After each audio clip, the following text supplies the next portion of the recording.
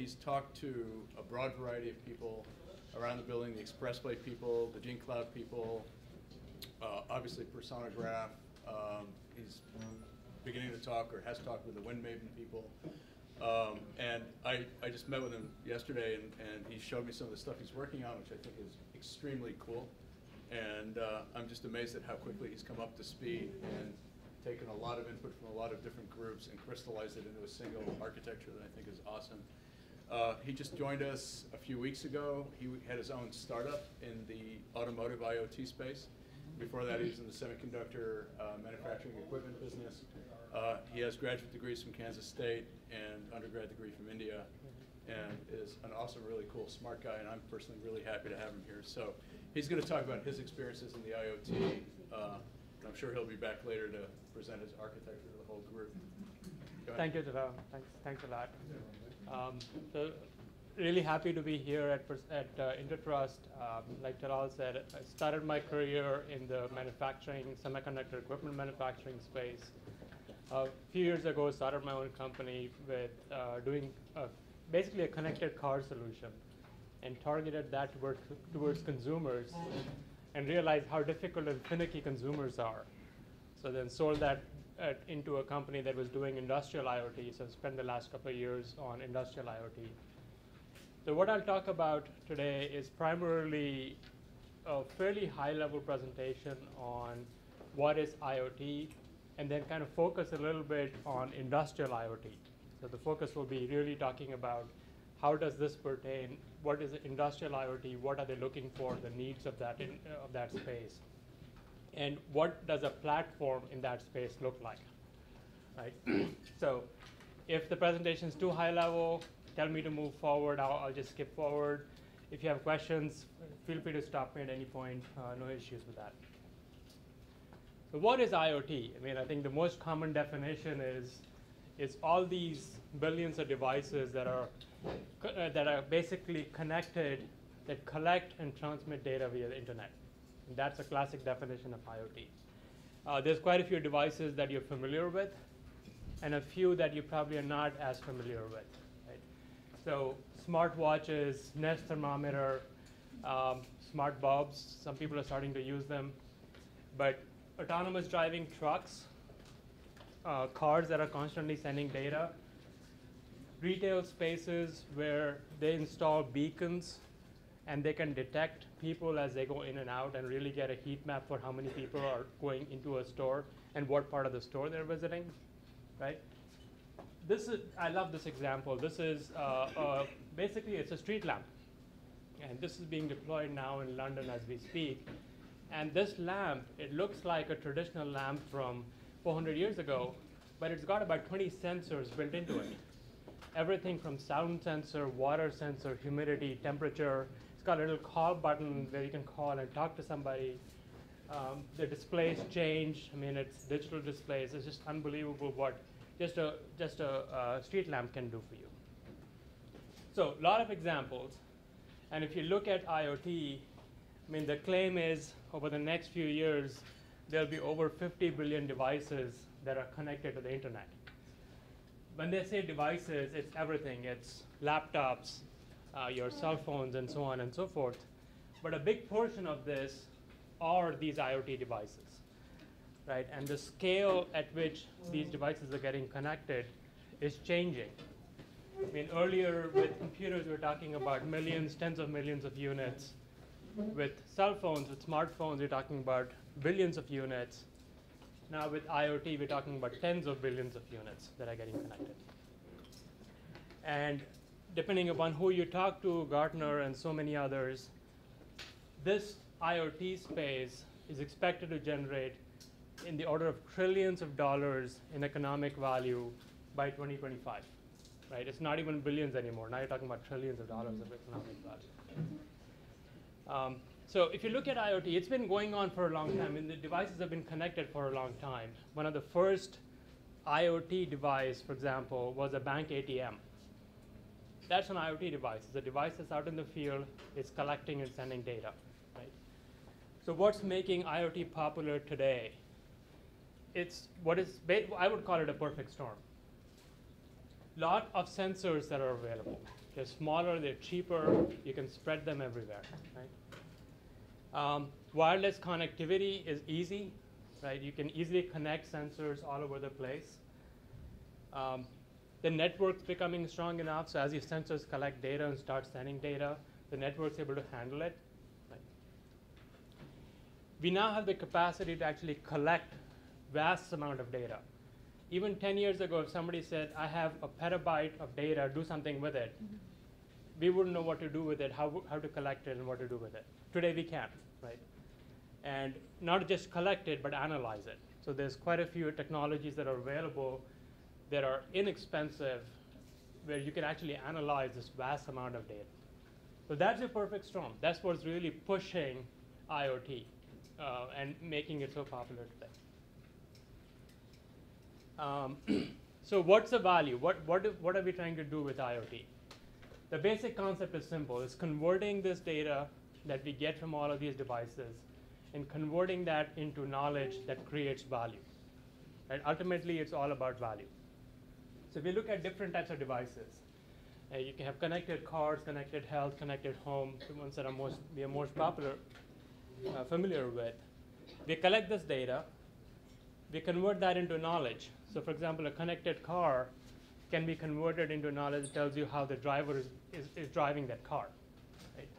Connected health can do automated diagnosis, diagnosis of the, of the health of the person. Connected home detect when somebody's at home and the value you create out of it. So in the case of connected car, maybe because you're a good driver, you get insurance discounts. Right? Some of the insurance companies are starting to do that today. Uh, connected health, if something is going wrong with you, maybe you automatically alert your doctor that I need medical attention. In the case of connected home, if nobody's at home, the, the Nest thermometer will auto- automatically adjust the temperature and save on energy costs. Right? So those are applications that are starting to develop. But all of these applications, a lot of these applications, are being built in silos. So basically, you have silos of information where you co- collect data, you do something with it, convert that into knowledge, and it works, right? And that's, that's the whole purpose. One of the common things we're trying to do with the data platform is collect data across multiple silos and share information across these applications. So if the car could tell you when it was driving home, that could trigger your thermometer to turn the heat on, right? And that's actually available today. This is something that's possible today. Um, so that's the basic concept of now creating a common platform that spans multiple applications and allow data sharing across these applications. So if you look at the IoT market, um, if you look at the IoT ecosystem, it's divided into basically three big segments. Right? There's a consumer IoT, which is what we are more familiar with, I mean the smartwatches, Fitbits, and so on and so forth. There's a government IoT, so smart cities, uh, the de- defense sector, all of that is part of the government IoT. And then the business side is enterprise, retail, manufacturing. And if you look at the value that each segment is trying to derive, the business side is where the most value is today. Right? The consumer side is the most popular, that's the biggest hype, but that also has the least amount of value. I think the consumer, con- consumer IoT is still trying to figure out what that killer application is from the consumer to, that makes a consumer buy these devices. And I think the biggest consumer IoT device is this one. The most popular one is a smartphone. This is an IoT device, right? Mm. The biggest advantage of that is it can do multiple things. Most of the other IoT devices are single purpose devices that make them very expensive. But what I'll do is I'll focus a little bit more on the business side, and especially within the business side, focus more on the manufacturing side. Because if you look at manufacturing, so here this is about 11 billion devices that have about 7.6 trillion dollars in, in ROI that comes out of it. Out of those 11 dev- billion devices, about a billion of them are going to be in manufacturing. just that space alone will produce about two and a half, three trillion dollars in ROI. That's the biggest benefit. And where does this benefit come from? If you look at a manufacturing line, collecting the data from the manufacturing line helps with op, op, operational efficiency improvement. So you basically look at the operation of the of the manufacturing assembly line and see how do I optimize it. The second part of it is making sure that it doesn't fail and equipment doesn't fail. So preventing the mainten- preventing the failure and doing preventative maintenance on that equipment. And the third part of it is inventory management. If you know when the equipment's going to fail, you don't have to keep a lot of inventory. You can do just-in-time inventory and save save money on inventory management. So just touching back on the consumer and the government spaces, um, the consumer IoT space is pretty large. Um, devices everywhere you can think of, wearable computing, your smart, the VR glasses, things in home automation. You can even monitor your pets, right? Your pets can have little devices connected to them where you know what they're doing, where they're going. This is the consumer IoT space.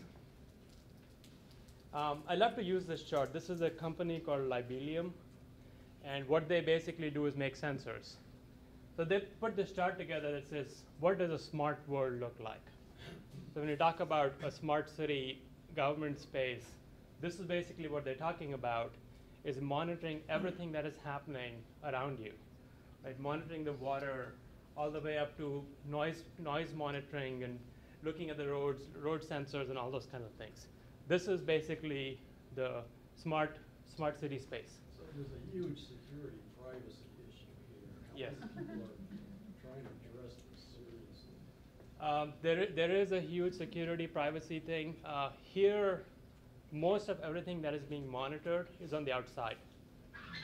Right, so if there's cameras on the road, um, there's sensors tracking how many people are walking by and so on and so forth. Those are all considered uh, open, open available information. So all of this is non-private information technically. And one of the things that the issue that these are not all just sensors, they're also computers, and they can be Yes. hijacked and have malware installed, and there's, there's just an exploitation. reason. Yeah, I mean, that, that is actually a pretty large security problem that exists today. Uh, in fact, there was this uh, pretty large DDoS attack that happened on the East Coast just, I think, a week or so ago. And that was essentially that somebody went in, hijacked all these IoT devices, and used those IoT devices to do a DDoS attack that shut down, I think, uh, quite a few websites on the East Coast for, for a day or so. So yes, security is a big problem. And I think maybe the intertrust solution can really become a differentiator there that helps secure that end device and make sure nobody can actually hack into it and, and take it over essentially.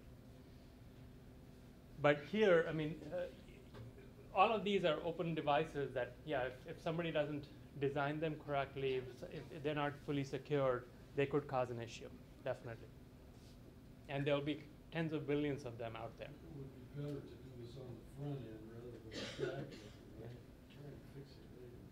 Yeah, I, I agree with you. Definitely agree with you.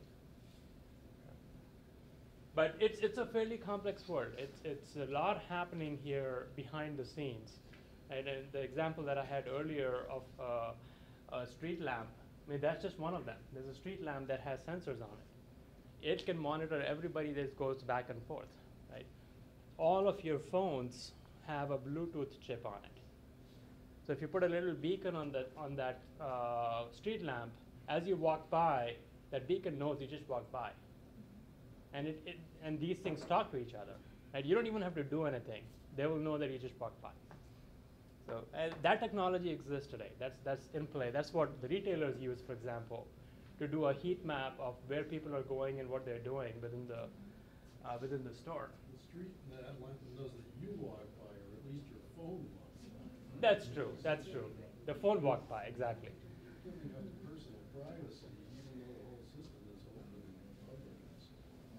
Yeah. Uh, I mean, the basic concept is I think everybody knows, well, everybody today carries a phone. Pretty much everybody carries a phone. And you can kind of correlate a person to a phone fairly easily. Uh, the personograph people will tell you that here, right? Um, and here, I mean, they will detect that information and they can actually use it. A lot of it is public information, so I think privacy and security is a big challenge. And it will evolve, I think, over a period of time. There is quite a bit of automated data collection that is happening today. In fact, just today, the FCC announced a new regulation that prevents um, your Comcast and AT&T of the world to uh, prevent them from collecting data about where you're going on your internet. Uh, that's the first step, right? Th- That's the FCC.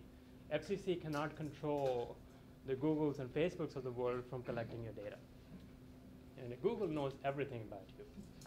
And when you when you go now, the, phone will tell you uh, you're going home. There's an accident two miles down the road, right? They know they know where you're going and where you live. So, unfortunately, that's true. Okay. Um, okay. Next step, shifting over manufacturing. And if you really look at a manufacturing plant, I mean, most of them are fully automated. You don't see people in manufacturing plants anymore. And all of these machines have hundreds of sensors that are constantly producing data. All the data is currently used within the manufacturing floor, so there are little controllers that look at the input coming in from that data and say, okay, I need to do something with this. So temperature sensor, there's a controller that's monitoring the temperature sensor. If it crosses a certain threshold, it says stop. If, if it never crosses the threshold, it keeps monitoring it, and that's it. Right? The data gets thrown away. The data is never collected. If something bad is happening somewhere, there's an alert that comes up, and maybe that alert gets collected. So that whole concept of the data getting thrown away, there's a term that manufacturers use. It's called dark data. Right? The data is available but never collected. And most manufacturing facilities, even the advanced manufacturing facilities, almost 90% of data is dark data, never gets collected. So where IoT platforms are coming in now, especially industrial IoT platforms, the concept is to convert that manufacturing dark data into actionable insights. Do something meaningful with that data. And that is the, the holy grail of industrial IoT. Um, so if you look at manufacturing business transformation, how do we do this? Right. Basically, one way of a manufacturing plant is very reactive. Right. Uh, let me use a more common example. Let's say you have a car. You're driving your car. And this is now 20 years ago. How do you know you need an oil change? Well, you don't. Your car just fails, and you go to the mechanic and say, oh, you need new oil. That's a reactive approach towards manufacturing plant. The next step towards this is proactive. The proactive part is every 3,000 miles, you're going to take your car in for service and get the oil change. Right? Whether you need an oil change every 3,000 miles or not, you're going to do it because you don't want that car to fail. So you're being proactive about it at this point. But today's cars are predictive. So they will tell you when you, they need an oil change. So a car will tell you, I need an oil change in the next 500 miles. So there are sensors that are now built into the car that are predicting when that oil change is needed. Right? You transform that one more step, you're trying to become preemptive. And here I'll paint a world for you. Middle of the night, you're sleeping, your car drives itself to an oil change station, gets the oil change, and comes back. That is preemptive, right? Not, nothing got affected, the car did it by itself. This is where manufacturing is going. That's a goal for manufacturing.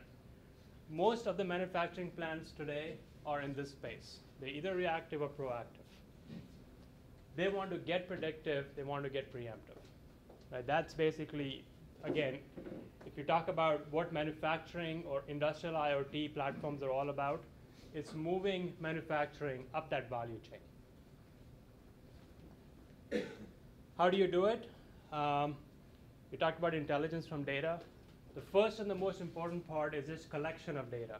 How do I first collect all of this information that's just getting thrown away today? And not only collect data from manufacturing, but collect it from various sources so they can actually play with each other.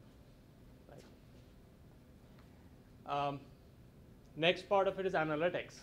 Analyze the data in real time analyze it, analyze historical data, and convert that basically into information that can be used. Um, predictive analytics, eh, like a car telling you when, when you need to go for an oil change, that's an example of predictive analytics. Next step is visualization, right? So you present this data to domain experts in a way that they can make sense out of it. And they can actually deduce information from, from historical data when it's visualized correctly. And that's a key step of most of these platforms as well. Right? And that's what helps with decision making. So the more you can do, uh, optimize this loop, the more advanced manufacturing gets. Right? So basically, if you go look at, there's probably about 10 um, different industrial IoT platforms out there today. They will all have some version of this collect, analyze, visualize, decide. What is also changing now is instead of visualizing information, how do I automate this process? So the human being is involved during the visualization process. How do I automate that? Well, let's bring learning into place.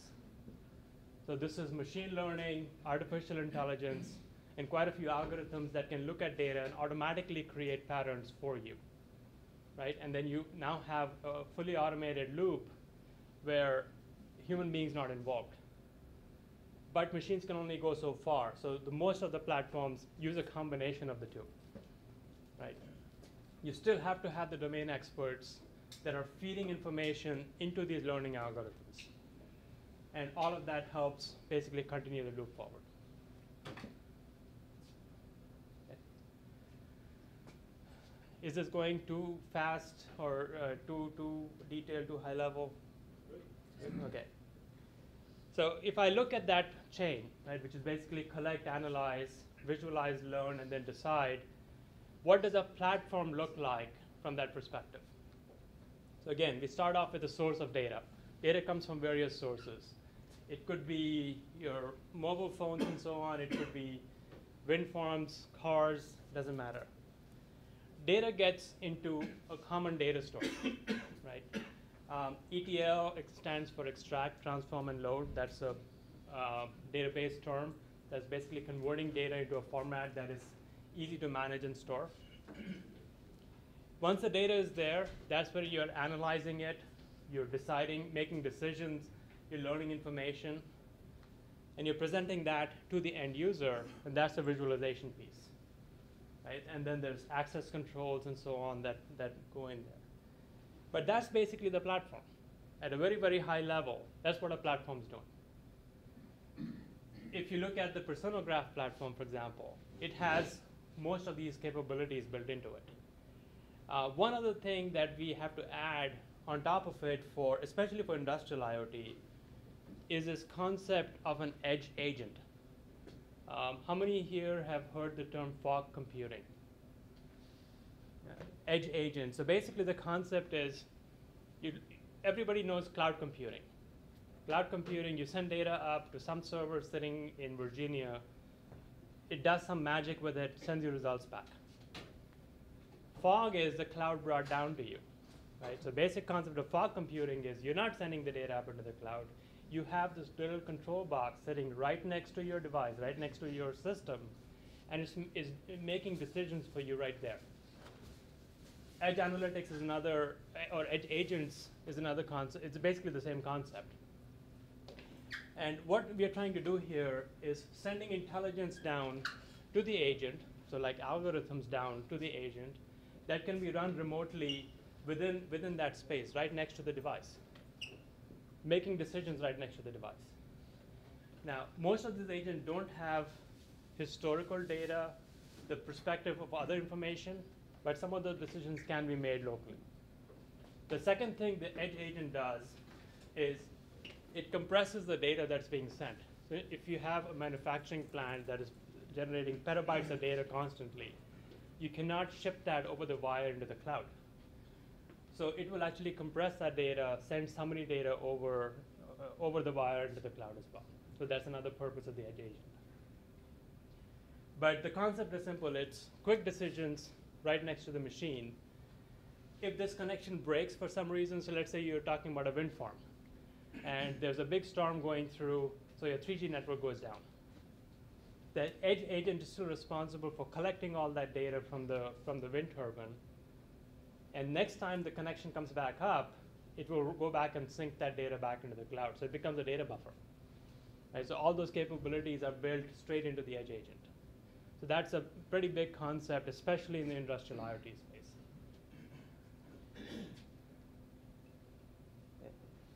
Um, so if you look at a platform, uh, most of the platforms, the key value proposition for these platforms, um, collect dark data, right? That itself is a huge value to begin with. There's all this data that's getting thrown away. Um, correlate data from multiple sources, right? not just from a single source, but use data across multiple sources. Enable intelligent analytics. IBM Watson talks about cognitive uh, analytics. You know, all those, all those are different terms that are used. Um, and then automate the learning and the decision-making process. So any uh, industrial IoT platform that's out there, these, this is basically the value proposition chart you'll see from most of them.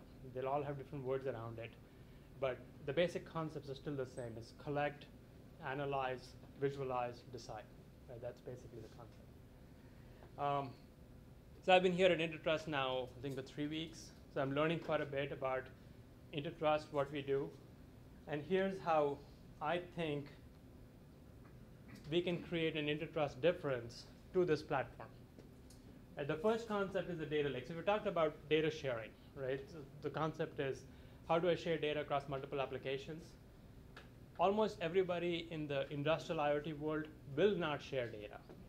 They want to protect their data, right? So they all operate in this world where everything is a silo. That's it. Their data is their IP. They will not share that with anybody else.